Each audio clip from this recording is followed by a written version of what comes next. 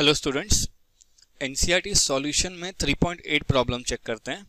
ये कहता है, एक हीटिंग एलिमेंट है, जो कि नाइक्रोम से बना हुआ है तो ऑब्वियसली ये रेजिस्टेंस होगा। इसको 230 वोल्ट पे कनेक्ट कर दिया है, और इनिशियल करंट ये ले रहा है, वो है 3.2 एम्पियर जो कुछ देर बाद सेटल हो जाता है after few seconds to a value of 2.8 देखना करंट यहाँ कम हो रहा है। मतलब रेजिस्टेंस क्या होगा? कुछ देर कनेक्शन के बाद बढ़ रहा है, ठीक है? फिर कहता है what is the steady temperature steady state temperature of heating element अगर रूम टेम्परेचर इतना है? तो अभी तक के क्वेश्चन से ये कंफर्म है कि एक रेजिस्टेंस है जिसको हमने क्या किया है? एक बैटरी से कनेक्ट कर दिया है।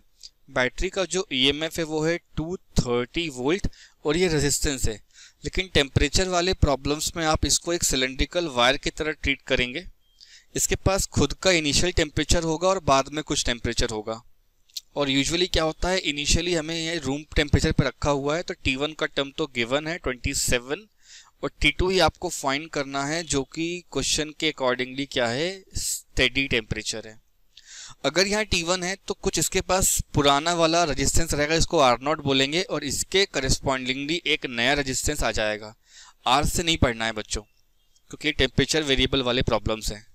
तो क्वेश्चन तो इसमें एक ही होता है equation R T is equals to पुराना वाला रेजिस्टेंस होता है और one plus alpha delta T का टर्म आता है। इसको अगर रीअरेंज करते हो तो अल्फ़ा का फॉर्मूला भी लिखना जानते हो आप लोग, वो होता है R T minus of R naught divide by again R naught ये टर्म नीचे आएगा, ये इधर आएगा और फिर ये टर्म अपन यहाँ लिख देंगे वन अपॉन डेल्टा टी के नाम से। आप क्वेश्चन को और आगे पढ़ेंगे ना तो टेम्परेचर कोएफिशिएंट भी दिया हुआ है इस पर्टिकुलर रेंज पे। जो कि इतना है, ठीक है? माइनस में ही रहता है और यूनिट इसकी पर डिग्री सेल्सियस रहती है। तो ढंग से देखोगे तो आपको ये सारे टर्म्स मिले हुए हैं बच्चों, ये। सिर्फ़ ये निकालना है और अपना यहाँ से काम भी हो जाएगा क्योंकि डेल्टा टी का जो टर्म होता है वो तो T two minus of T one होगा। कुछ रीअरेंजमेंट करते हैं तो यहाँ से डेल्टा टी का टर्म लिख सकता है बच्चा, ठीक है? वो हो जाएगा T two minus of T one जिसको हम लिख सकते हैं, sir, R T minus R nought whole divide by R nought और नीचे आ रहा है यहाँ पे अल्फ़ा का टर्म। अब ये आर टी और आर नॉट कितने होंगे? जब बच्चे लोग आपको पोटेंशियल दिया हो और करंट दिया हो तो आप आसानी से रेजिस्टेंस निकाल सकते हो। तो देखो, बाद वाला रेजिस्टेंस हो जाएगा पोटेंशियल, ठीक है? और बाद वाला करंट। तो बाद में है करंट 2.8 एम्पियर और ये वोल्ट का टर्म है।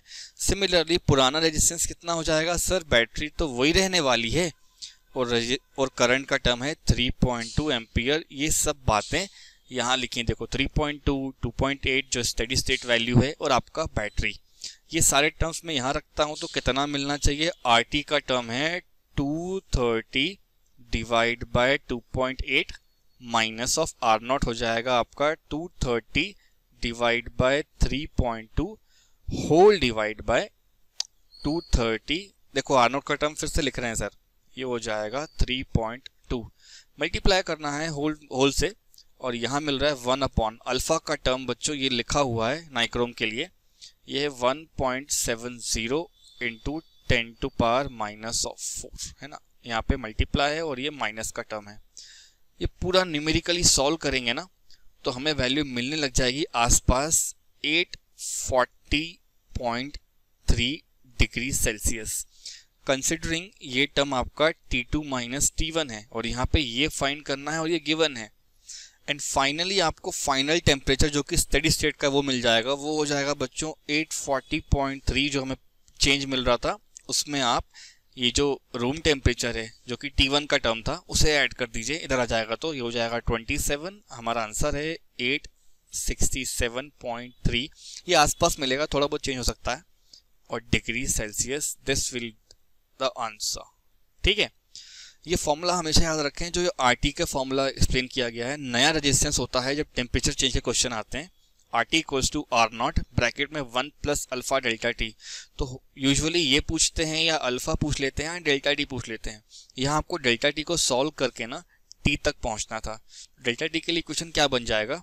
यहाँ देख लो डेल्टा टी हो जाएगा T two minus T one और ये एक टर्म होता है। उसके बाद वन बाय अल्फ़ा का टर्म हम लोग पढ़ते हैं। मतलब R T minus R nought divide by R nought और one by alpha okay students आगे बढ़ते हैं।